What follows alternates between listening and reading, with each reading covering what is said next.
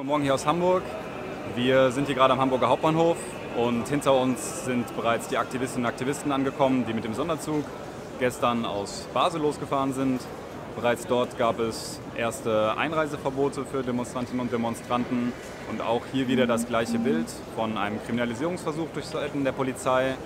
Die, sind hier, die Demonstranten sind hier angekommen und von vornherein gab es behelmte Polizisten, Spezialeinheiten, Spalier und auch Gitter sowie Hunde. Die Frage ist nun natürlich, ob die Demonstrantinnen und Demonstranten sich davon einschüchtern lassen vor dieser Machtdemonstration. Wir haben aber bereits bei verschiedenen Parolen gehört, dass die Stimmung hier gut ist. Und insgesamt wird sich zeigen, wie sich jetzt der weitere Ablauf durchführt, äh, ob es hier weitere Vorkontrollen etc. gibt. Wir werden weiterhin berichten.